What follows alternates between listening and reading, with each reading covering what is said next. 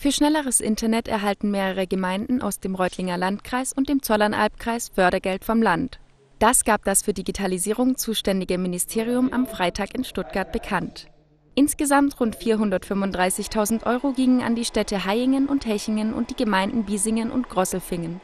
Die Fördermaßnahme ist Teil des Breitbandförderprogramms 2019 des Ministeriums für Inneres, Digitalisierung und Migration